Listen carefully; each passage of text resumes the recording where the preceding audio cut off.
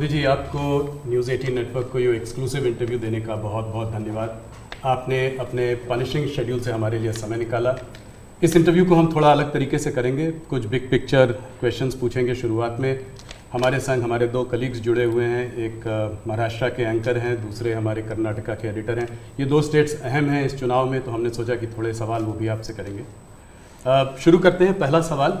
सबसे पहले तो आपको और आपके सभी दर्शकों को मेरा नमस्कार और मुझे अच्छा लगा कि आपने अपने साथ कर्नाटका और महाराष्ट्र को भी ज़ोर दिया है। तो एक प्रकार से आपने मेरी मदद की है वरना तीनों को अलग अलग इंटरव्यू देता तो शायद मुझको और ज़्यादा टाइम देना पड़ता। बहुत धन्यवाद स्वागत है आपका नेटवर्क पहला सवाल मोदी जी हम लोग पूरे देश का भ्रमण कर रहे हैं इधर उधर जा रहे हैं हम लोग साउथ में थे बिहार गए और भी महाराष्ट्र में भी थे। तो हर जगह ये देखा गया है कि चाहे विपक्ष से बात करें, चाहे आपके उम्मीदवारों से बात करें, लोग कहते हैं कि जब मोदी जी यहाँ आएँगे तो सब कुछ बदल जाएगा। अभी कुछ नहीं कह सकते। मोदी जी आएँगे तो हो सकता है स्वीप हो जाए, हो सकता है सीट निकल जाए।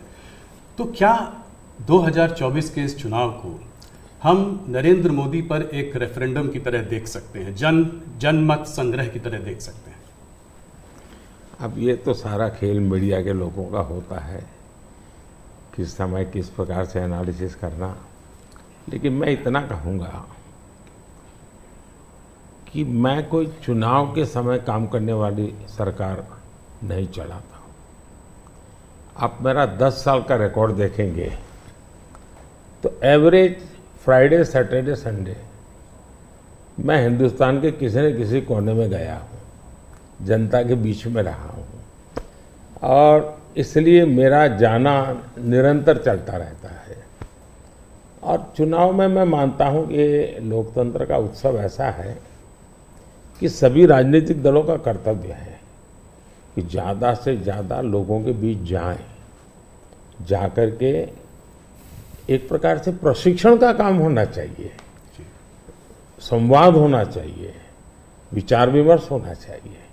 तो मैं एक राजनीतिक क्षेत्र के कार्यकर्ता के नाते चुनाव या न हो, मैं इसे अपना कर्तव्य मानता हूँ और इसलिए मैं जाता हूँ। जहाँ तक,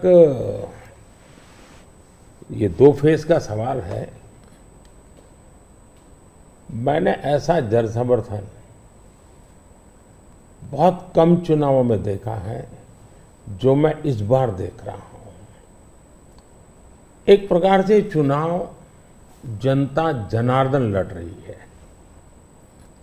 सुशासन के लिए लड़ रही है। अपने सपनों को साकार करने के लिए लड़ रही है।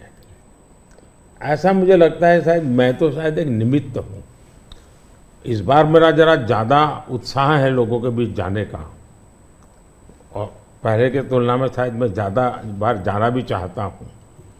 इसलिए कि जो जनता जनार्दन इतने उमंग और उत्साह के साथ इतनी बड़ी ज़िम्मेदारी उठा ली हो तो उस जनता जनार्दन को जाकर के उनको प्रणाम करना, नमन करना, उनका आशीर्वाद लेना, ये मुझे अपना कर्तव्य लगता है। और मैं देखता था, जो फ़र्स्ट राउंड हुआ तो मैंने किसी दोस्तों को कहा था कि पहले राउंड में ये हमारे खिलाफ जो लोग मोर्चा लगा करके बैठने की कोशिश कर रहे हैं। पहले राउंड में वो पस्त हो गए। और कल मैंने देखा दूसरे राउंड में ये ध्वस्त हो चुके हैं। यानी पहले लोगों ने पस्त कर दिया अब ध्वस्त कर दिया। मोदी जी जब कैंपेन की आपने शुरुआत की थी तो बड़े हाई नोट पे ये कैंपेन की शुरुआत हुई थी। आपने कहा आपने अपने सरकार के पूरे काम का परिचय दिया, आपने डेवलपमेंट एजेंडा को लेकर आगे बढ़े इकोनॉमी पर आपने जो है बहुत प्रकाश डाला और इसके ऊपर बहुत काम हुआ भी है।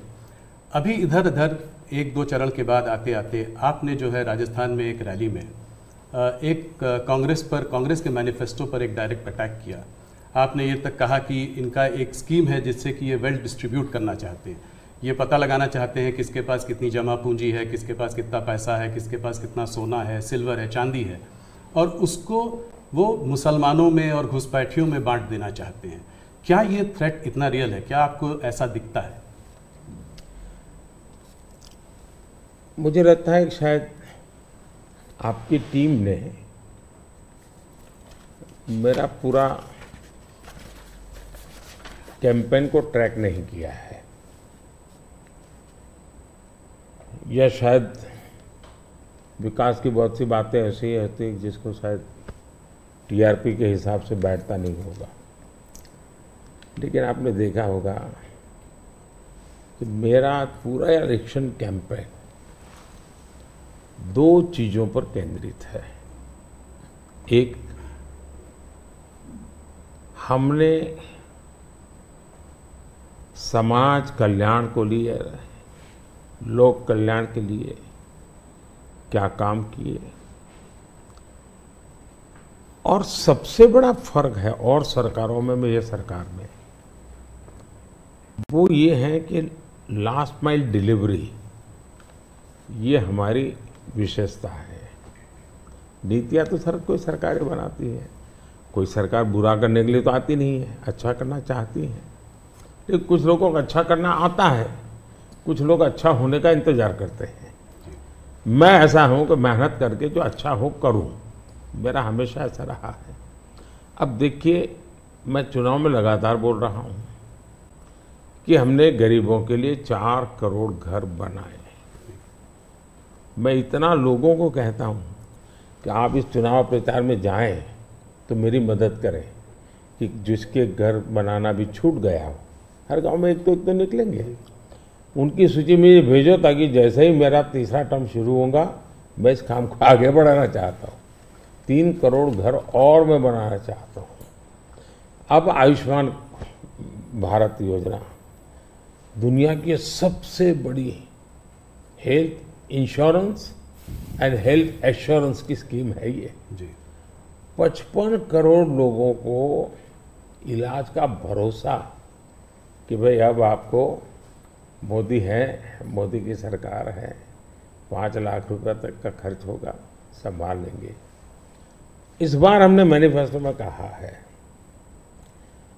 कि किसी भी वर्ग का, किसी भी समाज का, किसी भी बैकग्राउंड का व्यक्ति क्यों न हो, जिस भी परिवार में, सत्तर से ऊपर की आयु के जो भी व्यक्ति होंगे, पुरुष, स्त्री, सब, उन सबको हम ये पाँच लाख रुपए तक मुफ़्त इलाज की सुविधा देंगे।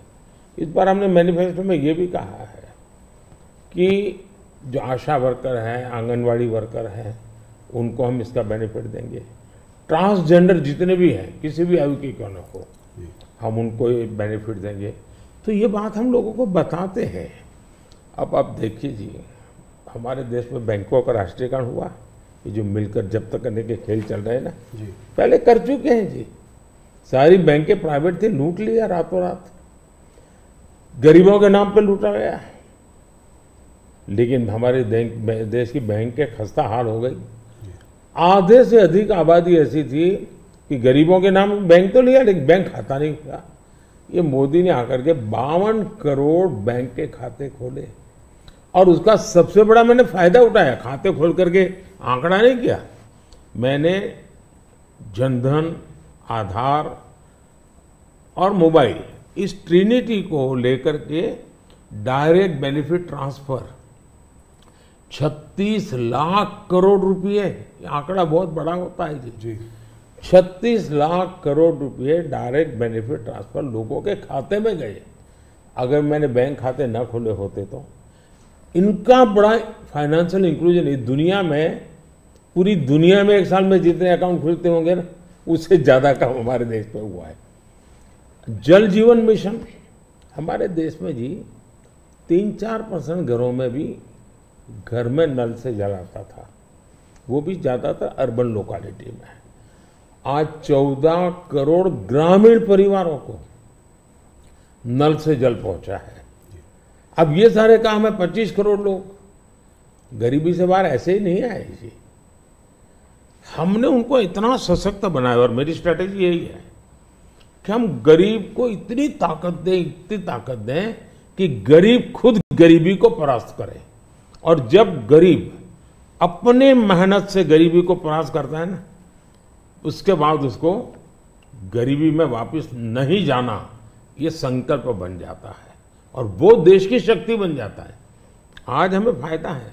25 करोड़ लोग गरीबी से बाहर आए बहुत बड़ा अचीवमेंट है जी। दुनिया इसकी तारीफ़ कर रही है जी। जी और ये एक मॉडल बनेगा। जी। ये जो डेवलपिंग कंट्रीज़ है उनके लिए मॉडल बनेगा जी। आप देखिए 2014 के पहले क्या हाल था? 2014 के पहले आपके सारे मीडिया वाले निकाल दीजिए। फ्रेजाइल फाइव फ्रेजाइल फाइव यही हेडलाइन होता था। जी।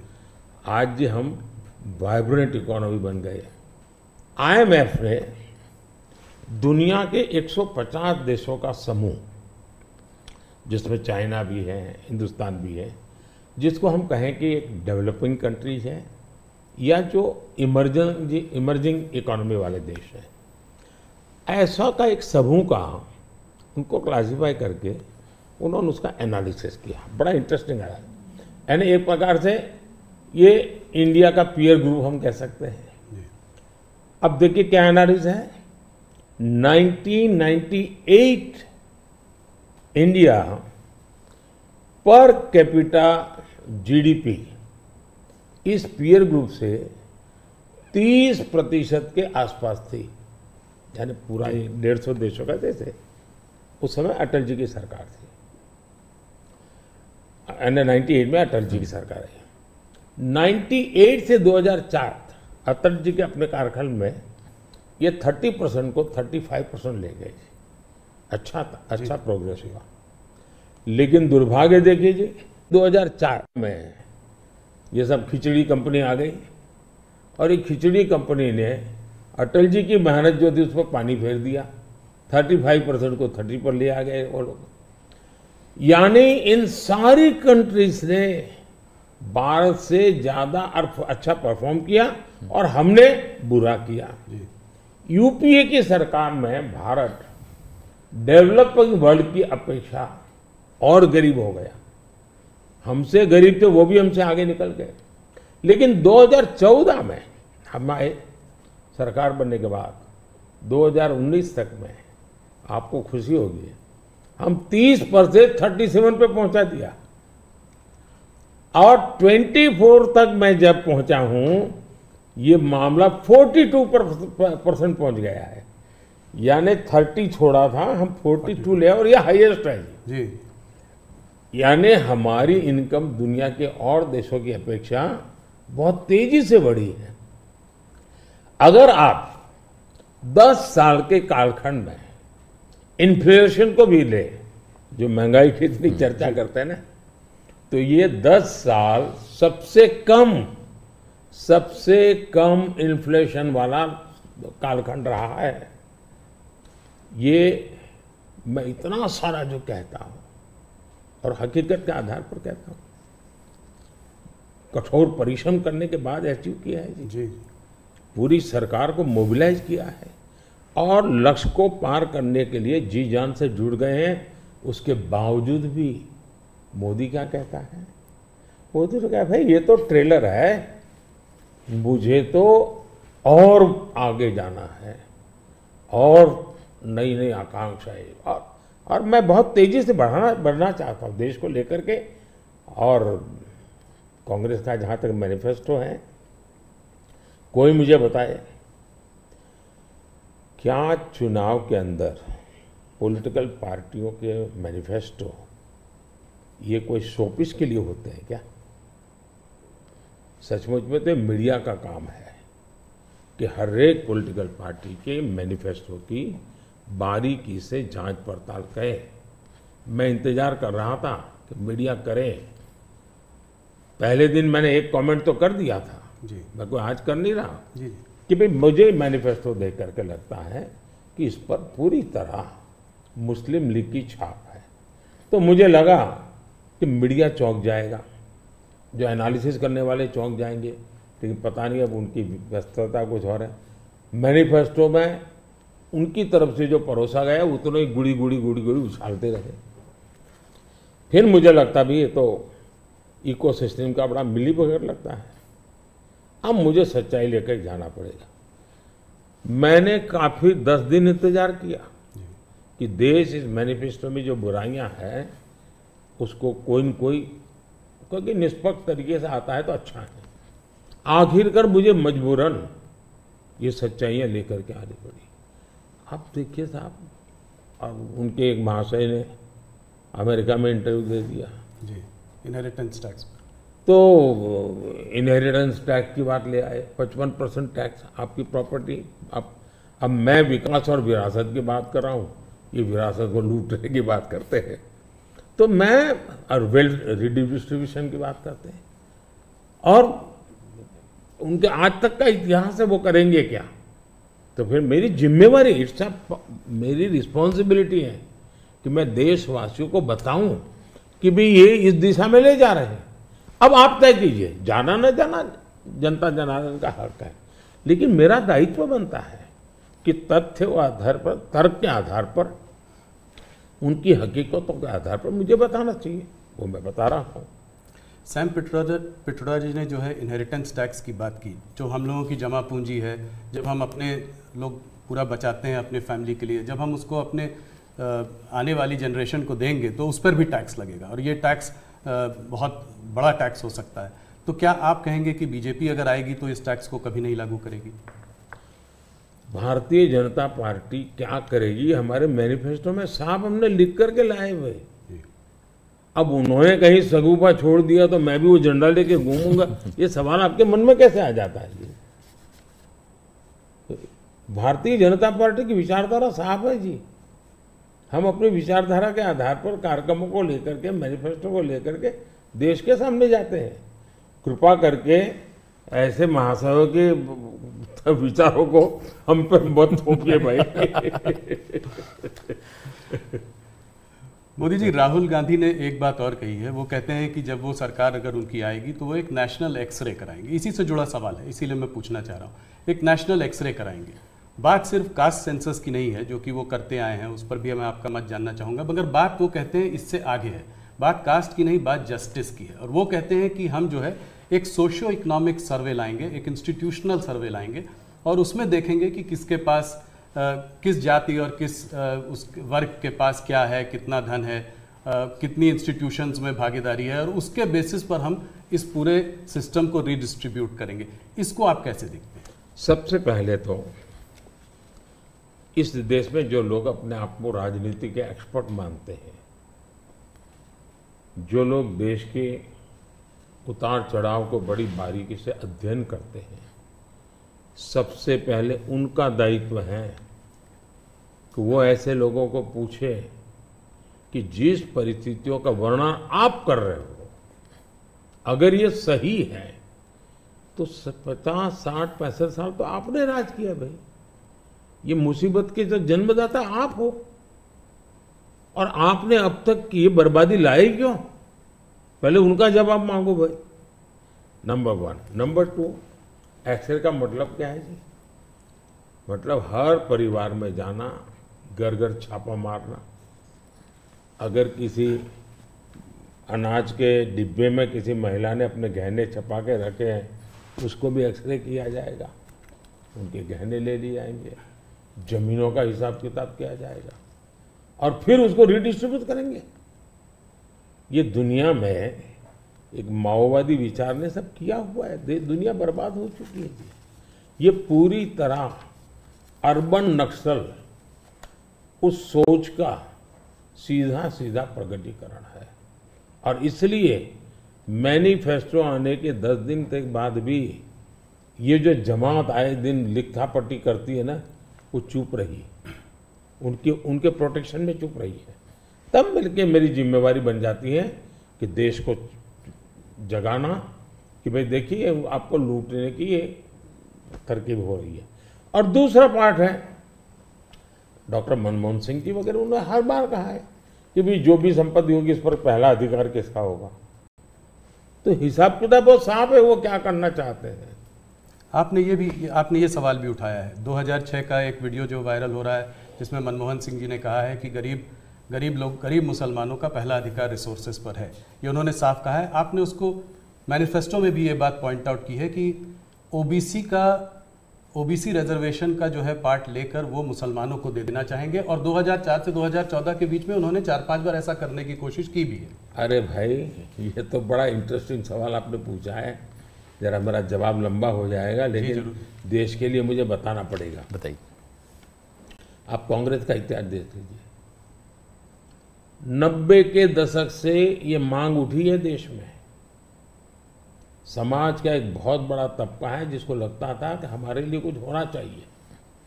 उसके लिए आंदोलन हुए हैं।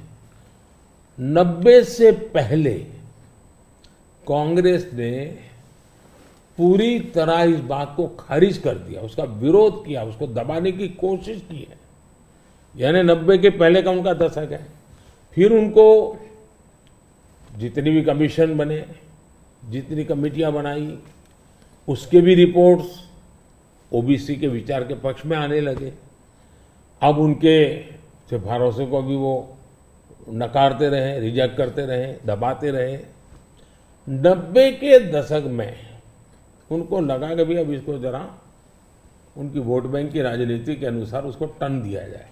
उन्होंने पहला पाप किया क्या? नाइन्टीज के दशक में कर्नाटका में उन्होंने धर्म के आधार पर, आपको याद होगा, कर्नाटका में उन्होंने धर्म के आधार पर मुसलमानों को ओबीसी घोषित कर दिया। यानी देश के ओबीसी को नकारना, उस विचार को दबाना, उस विचार को रिजेक्ट करना, लेकिन राजनीति खातर मुसलमानों को ओबीसी घोषित कर देना।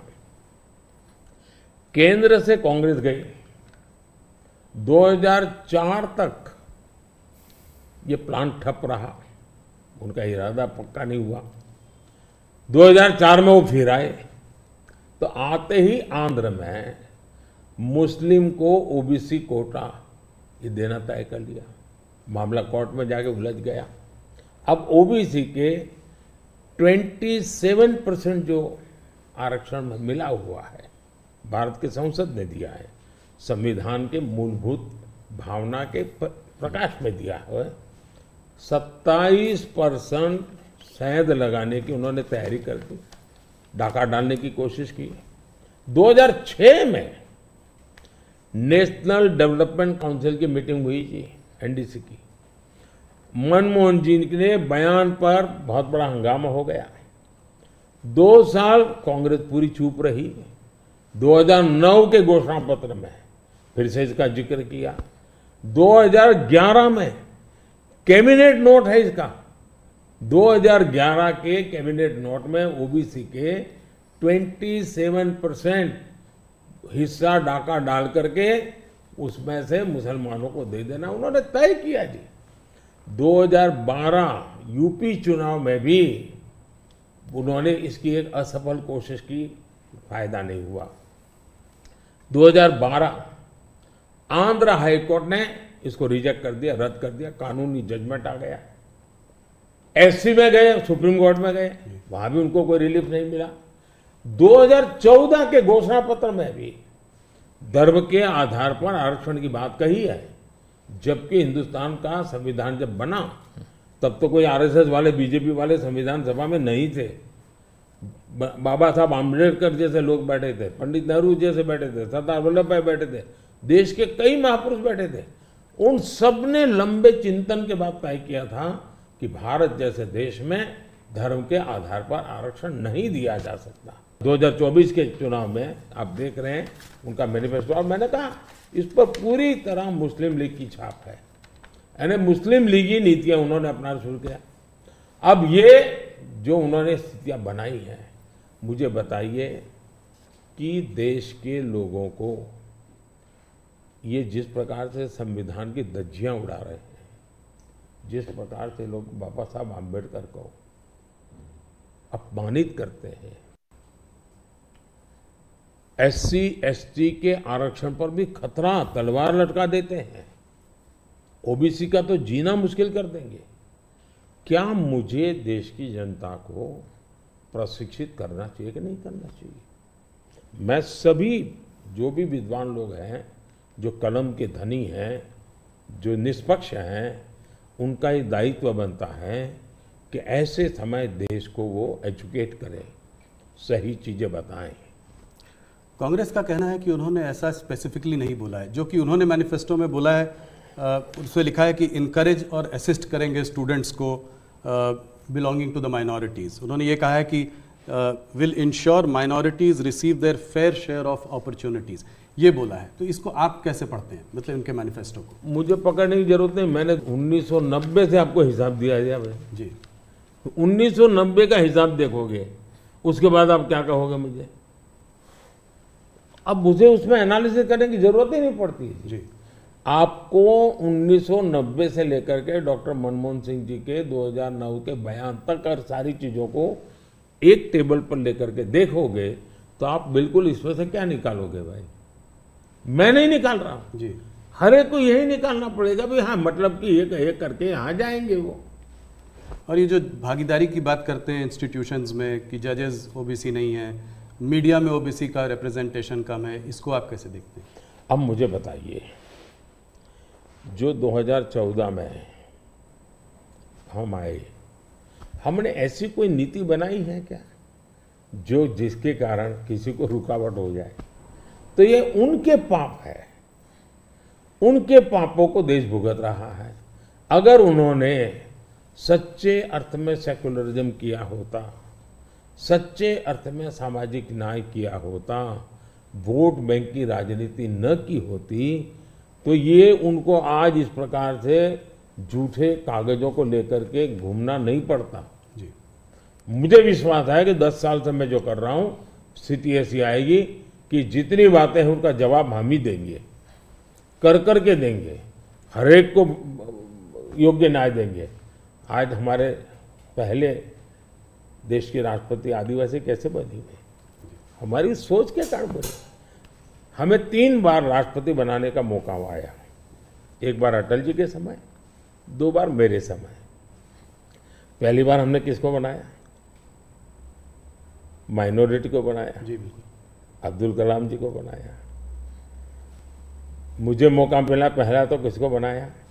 दलित को बनाया। दूसरा मौका मिला तो किसको बनाया? आदिवासी महिला को बनाया।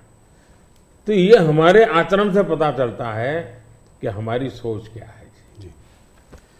मोदी जी आपने एक बात और कही है और इसको मैं एक लंबे सवाल से भी जोड़ना चाहता हूँ। आपने कहा है कि अगर इनका गठबंधन जो है सरकार बनाएगा तो ये पीएम बाय रोटेशन होगा। ये डिसाइड नहीं कर पा रहे हैं कि किसको पीएम बनाएँगे तो एक एक साल के लिए सब लोग पीएम बनेंगे। सवाल मेरा थोड़ा बड़ा है। सवाल ये है कि क्या आपको लगता है कि जिस स्टेज में इंडिया का जो डेवलपमेंट स्टेज है उसमें कोयलेशन गवर्नमेंट काम करेगी या एक स्टेबल गवर्नमेंट ज़्यादा इफ़ेक्टिव होगी? दो अलग अलग सवाल है। जी। देखिए, आप कांग्रेस का कैरेक्टर देखिए। उनके यहाँ राजस्थान में पार्टी के अंदर आंतरिक संघर्ष था। तो उन्होंने फॉर्मूला बनाई, ढाई ढाई साल मुख्यमंत्री की। ढाई साल एक मुख्यमंत्री रहेंगे, ढाई साल दूसरे मुख्य राजस्थान में फॉर्मूला बनाई थी नॉन फॉर्मूला है। छत्तीसगढ़ में ऐसा उनकी पार्टी के भीतर झगड़ा हुआ तो वहाँ भी उन्होंने फॉर्मूला बनाई कि ढाई साल एक, ढाई साल दूसरा। और उन्होंने मामला संभाल करके गाड़ी चलाई। और ये भी सच्चाई है कि ढाई साल के बाद वो मुकर गए। जी। यानी खुद की पार्टी के साथ धोखा किया। खुद की पार्टी के अंदर उन्हें धोखा करने की उनकी प्रवृत्ति। वो तो एक इसका मतलब ऐसी फॉर्मूला कांग्रेस के दिमाग में होना ये प्रूवन है उसमें। और मैंने अभी कहीं मीडिया में पढ़ा। उनकी एक कोई छोटी सी मीटिंग हुई थी। मीडिया में पढ़ा मैंने। और उसमें ये कहा कि भाई अब आज के स्थिति जब मोदी बार बार पूछ रहा है भाई इतना बड़ा देश किसको सुपर्द करे? आपका नाम तो होना चाहिए ना। इतना बड़ा आप किसी का भी नाम दीजिए। कोई तो नाम देना पड़ेगा ना। अरे क्रिकेट की टीम होती है वो भी कैप्टन बनाती है। कबड्डी की टीम होती है वो भी कैप्टन बताती है भाई। आप बता नहीं रहे हो कि इतना बड़ा देश दे किसको? और तब जाकर फिर उन्होंने कोई ऐसे फॉर्मूला बनाई है कि भाई one year one PM formula अब एक पीएम एक साल रहेगा तो आएगा, पूरी नई सरकार बनाएगा कैबिनेट बनाएगा तो फिर शपथ समारोह चलते रहेंगे, पाँच साल और क्या होगा जी और देश संकट समारोह में उलझता रहेगा, वो शपथ समारोह में उलझते रहेंगे। अब कोई देश ऐसे चल सकता है? इतना बड़ा देश जी देश ने 30 साल तक अस्थिरता देखी है। मिलीजुली सरकारों का दौर देखा है। आज दुनिया में भारत के प्रति विश्वास बढ़ा है उसका कारण भारत के 140 करोड़ लोगों ने एक स्थिर मज़बूत स्पष्ट बहुमत वाली सरकार बनाई। तो कोई भी भरोसा करेगा भाई हाँ जी जी। इस सरकार के पास मैंडेट है। मिलीजुली सरकार पर कोई भरोसा ही नहीं करता है। और इतना बड़ा देश ऐसे थोड़ा चल सकता है। लेकिन आज देश की राजनीति ऐसी है कि कोई एक पार्टी कितने ही बहुमत से क्यों न जीते, उसने रीजनल एस्पिरेशंस को ऑनर करना ही होगा। और इसलिए हमें पूर्ण बहुमत मिला, फिर भी हम सरकार एनडीए की बनाते हैं। एनडीए के साथियों को लेकर के बनाते क्योंकि एक पार्टी को पूर्ण बहुमत मिलने के बाद भी देश के राजनीतिक उज्जवल भविष्य के लिए, देश के लोगों के एस्पिरेशंस के लिए रीजनल एस्पिरेशंस को उतना ही रिस्पेक्ट देना चाहिए, उतना ही हिस्सा देना चाहिए। और ये कैरेक्टर एनडीए ने डेवलप किया है। भारतीय जनता पार्टी ने करके दिखाया है। आपने रीजनल एस्पिरेशंस की बात की तो उसकी बात हम लोग करेंगे। एक सवाल और जिससे पहले कि उस पर आते हैं। ऑपोजिशन की सारी पार्टीज़ राहुल गांधी कांग्रेस सब ये कहते हैं कि मोदी जी ये जो है मैच फिक्सिंग कर रहे हैं इस चुनाव पर। उन्होंने कहा है कि ईडी सीबीआई और ईवीएम के बिना आप चुनाव नहीं जीत सकते। क्या कहेंगे आप? ईवीएम का जवाब तो देश की सुप्रीम कोर्ट ने दे दिया है। और 2014 में इनके पास ईडी थी, इनके पास सीबीआई थी तो हार क्यों गए भाई? मेरे होम मिनिस्टर तक को जेल में डाल दिया था। तो हार क्यों गए वो? अगर ईडी सीबीआई से चुनाव जीते जाते तो ईडी सीबीआई का काम तो इतने सालों तक तो कांग्रेस ने किया है। वो जीत जाते हैं जी। और इतना बड़ा देश, एक म्यूनसिपालिटी का चुनाव फिक्स नहीं कर सकते भाई। जरा करके देखो। ये संभव होता है क्या फिक्सिंग क्या क्या दुनिया को मूर्ख बना? लेकिन दुख इस बात का है कि ऐसी बातें करने वालों को आप मीडिया के लोग उनको पूछने के बजाय हमको पूछते हो। मोदी जी थोड़ा सा लेकिन इसमें एक बात चौकस है। जी। मैं मानता हूँ पिछले कई दिनों से इंडिया अलायंस के लोग इतने निराश हो चुके, इतने निराश हो चुके हैं कि अभी उनको बहाने ढूंढना बहुत ज़रूरी बन गया है। क्योंकि पराजय के बाद भी लोगों के सामने जाने के लिए उनको तरी, इसलिए मैं समझता हूँ शायद वो अभी से ये सारे तर्क ढूंढ रहे हैं कि पराजय के तर्क क्या होंगे। शायद उसी की उनकी इंटरनल एक्सरसाइज है ये। मोदी जी दो दो स्टेट्स अहम हैं इस चुनाव में। एक है कर्नाटका और एक है महाराष्ट्र। कर्नाटका जहाँ पे अभी आपकी हार हुई थी विधानसभा के चुनाव में और महाराष्ट्र इसलिए क्योंकि वहाँ पर एक अजीब सी खिचड़ी बनी हुई है। तीन पार्टियाँ दो पार्टियाँ टूटी हैं। मेरे दो साथी मेरे साथ हैं। सबसे पहले शुरुआत करते हैं कर्नाटका से। तो हरिप्रसाद जी जो हमारे वहाँ के एडिटर हैं वो आपसे कुछ सवाल पूछना चाहते हैं। हरिप्रसाद जी स्वागत है आपका। ಕರ್ನಾಟಕದಲ್ಲಿ ಕರ್ನಾಟಕದಲ್ಲಿ ನೇಹಾ ಹಿರೇಮಠ್ ಮರ್ಡರ್ ಕೇಸ್ ಭಾಳ ಚರ್ಚೆ ಆಗ್ತಾ ಇದೆ Neha killed inside the campus by Fayaz even J P Nadda ji rush to her house आप क्या सोच रहे हैं ये अभी ये फोकस शिफ्ट हो रहा है क्या कर्नाटक का चुनाव का फोकस ऐसे इश्यूज को शिफ्ट हो रहा है देखिए, नड्डा जी का कार्यक्रम वहाँ चल रहा था और इतनी बड़ी घटना घटी थी। और ऐसी चीज़ों में हमें वो किस दल के थे, वो कांग्रेस के थे, उसकी बेटी की हत्या हो गई तो हमारा क्या? ये हमारे संस्कार नहीं है न ही हमारी सोच है। और एक मानवीय संवेदना का विषय है।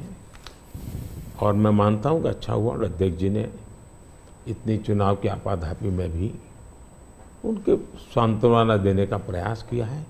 ये पूरी तरह मानवीय व्यवहार है। मैं भी, अब मुझे, मैं बताता हूँ कि शायद कौन सा चुनाव है, मुझे याद नहीं है। लेकिन राहुल जी का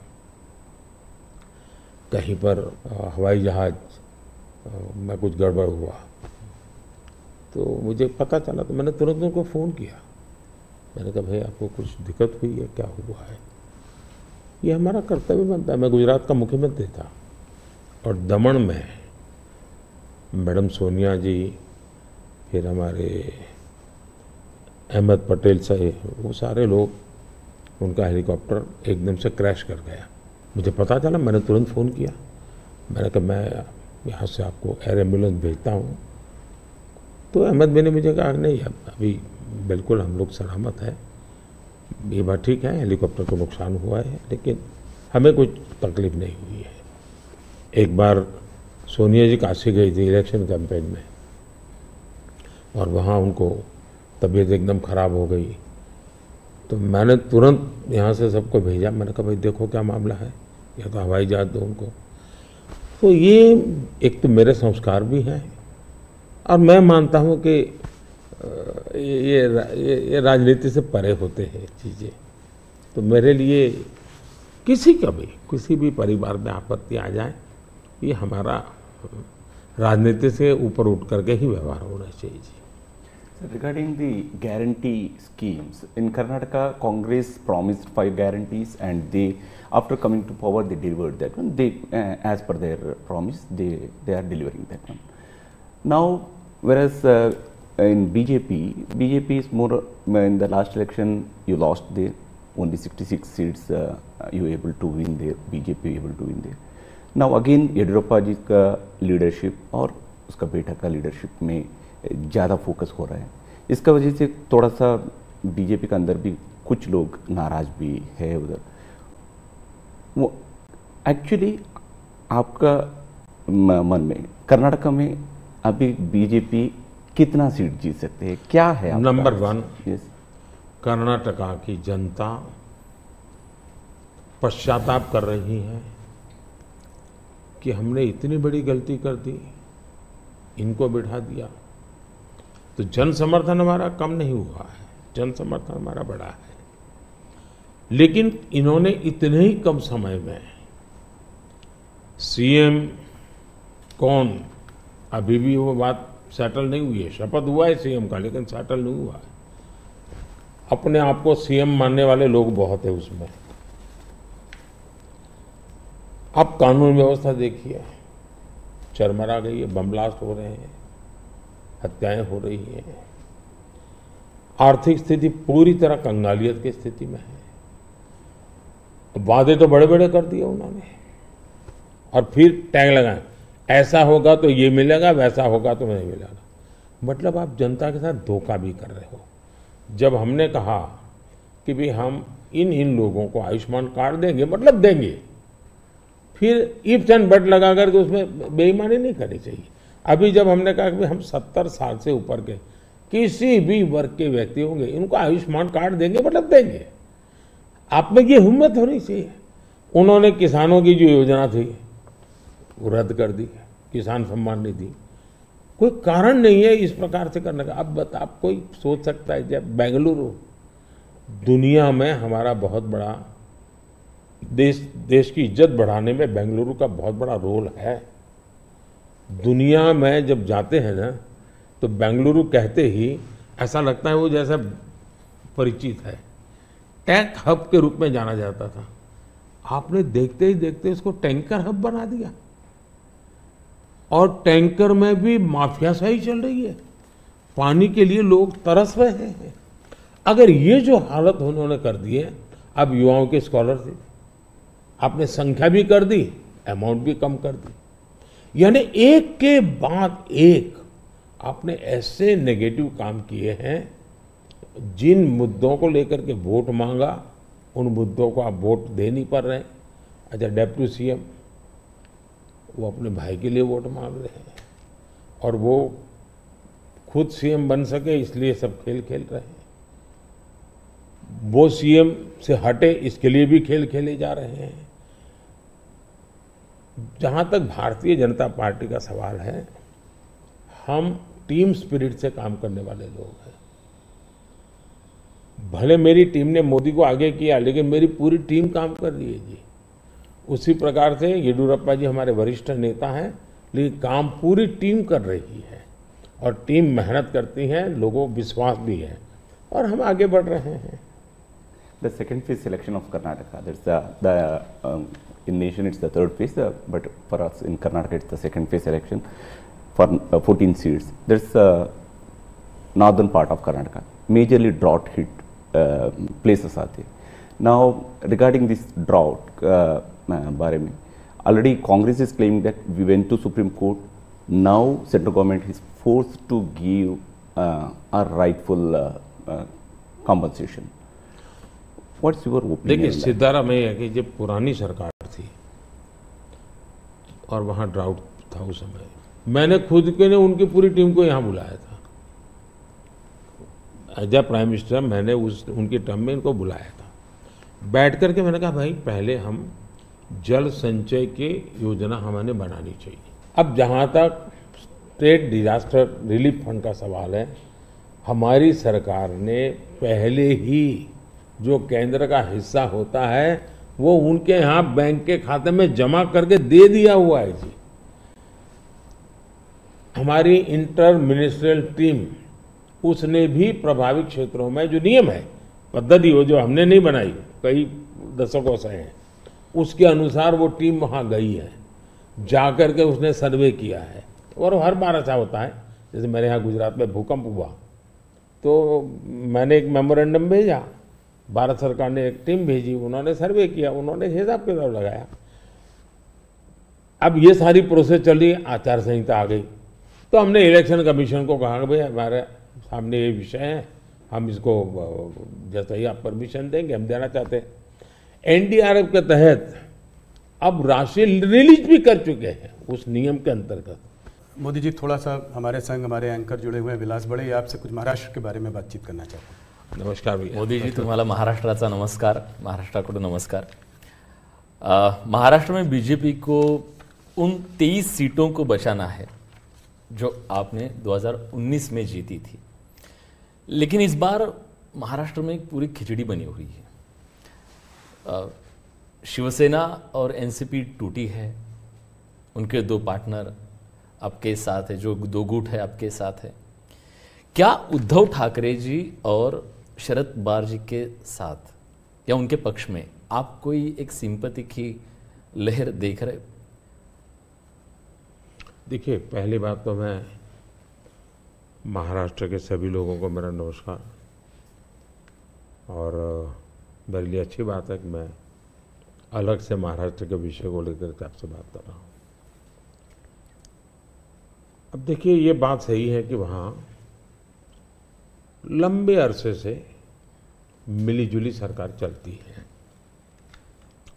विलासराव देशमुख थे, तब से लेकर के आप देखिए, इवन शरद पवार भी जब मुख्यमंत्री बने थे वो भी पूर्ण बहुमत के साथ अकेले नहीं बन पाए थे। दूसरा महाराष्ट्र का दुर्भाग्य रहा है कि लंबे अरसे से पाँच साल तक कोई एक मुख्यमंत्री रहा नहीं है।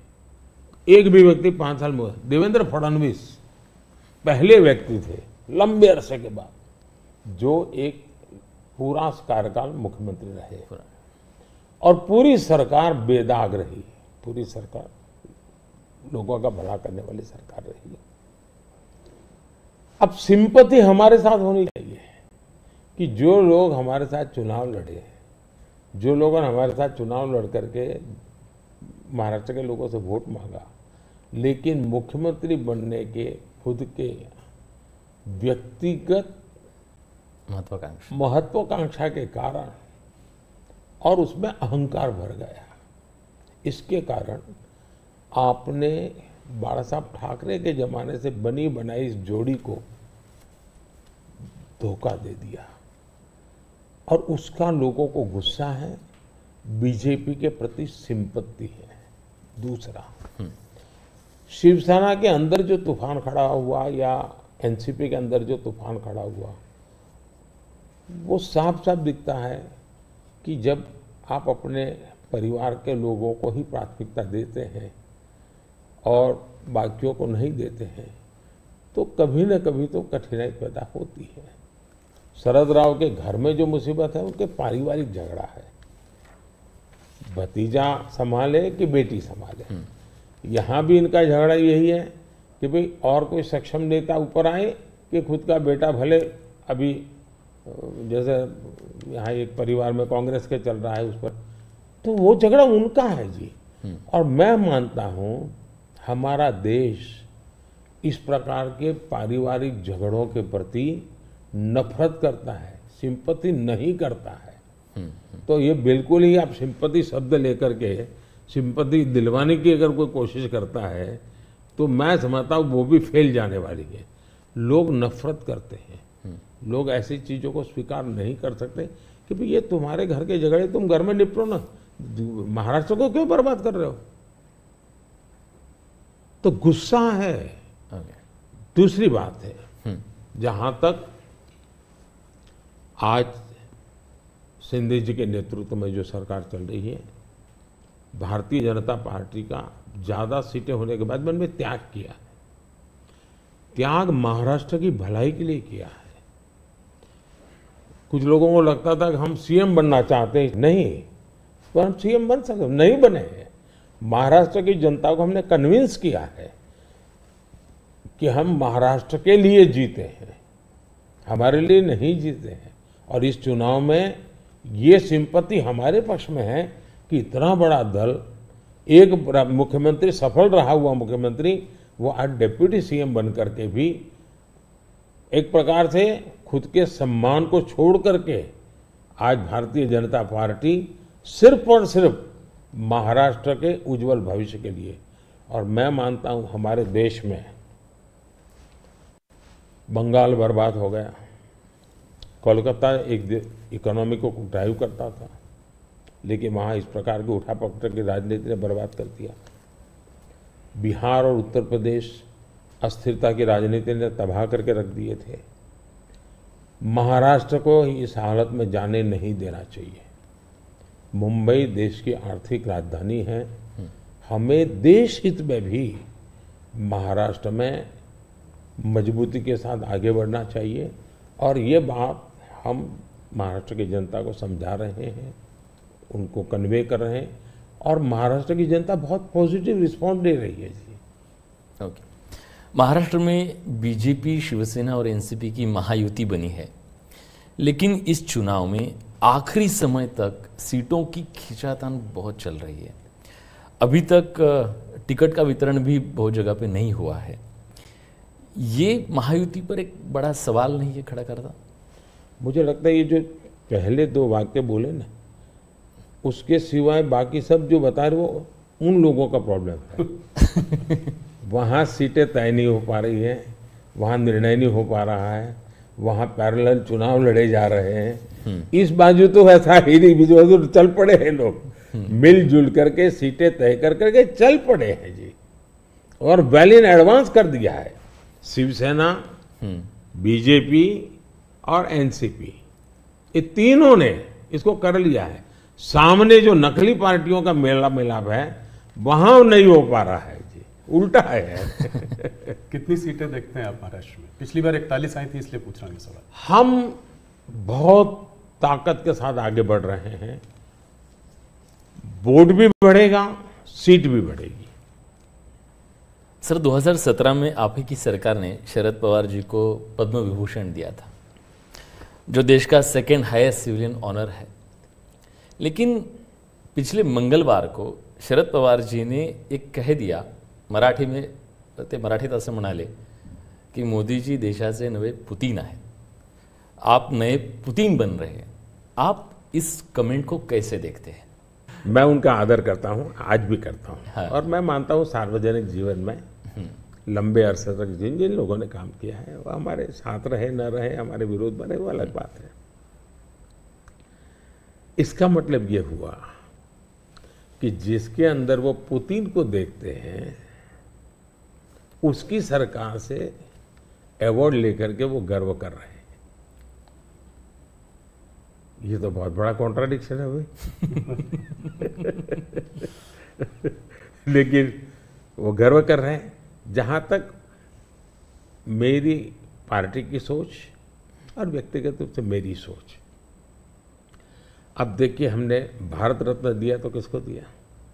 प्रणब मुखर्जी, नरसिम्हा राव। चौधरी चरण सिंह जी, कर्पूरी ठाकुर। और इस देश में किसी ने क्वेश्चन नहीं किया, कि मोदी जी, अब इनको क्यों भारत रत्न दे रहे हैं? सबको लगता हाँ यार, ये ड्यू था डिजर्व था। किस दर के थे? हमारे खिलाफ ढेर सारी बातें उन्होंने बताई हुई, ऐसे लोग हैं। लेकिन निर्णय उसके आधार पर नहीं होता है। आप पद्म पुरस्कार देखिए, मुलायम सिंह जी, असम के Tarun Gogoi ji P A Sangma ji Jamir ji S M Krishna ji आप देखिए जी सारे लोग हैं दूसरी पार्टियों के हैं। हमने उनको पद्म दिया। हम पद्म देते हैं उनको अपने अपने क्षेत्र में जो उनका योगदान है देश के लिए जो भी उन्होंने किया है ये देश का दायित्व है। अवार्ड देश का है दल का नहीं है जी। ये मोदी की पर्सनल प्रॉपर्टी नहीं है। ये भारतीय जनता पार्टी का उस पर कॉपीराइट नहीं है जी। तो मैंने पूरा पद्म पुरस्कार तो मैं मानता हूँ कभी अगर आप स्टोरी चलाएँ मीडिया के लोग इंटरेस्ट करें भारत में पद्म पुरस्कार को कैसे परिवर्तित किया गया? कैसे पद्म पुरस्कार एक प्रकार के सच्चे अर्थ में सम्मान बना दिया? इतना बड़ा काम उन्होंने किया है। अगर तारीफ़ होनी चाहिए तो इस बात की होनी चाहिए कि भाई आप बहुत बड़े सोच वाले लोग हैं कि आप ऐसे ऐसे निर्णय करते हैं। ये क्वेश्चन नहीं होना चाहिए कि आपने उनको क्यों दिया? नहीं देने